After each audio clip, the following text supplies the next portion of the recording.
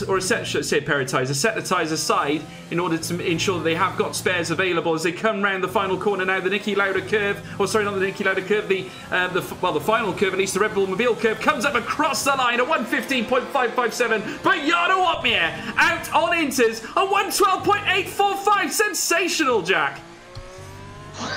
112 on this on those tires. Great stuff from from Jarno Opmeer.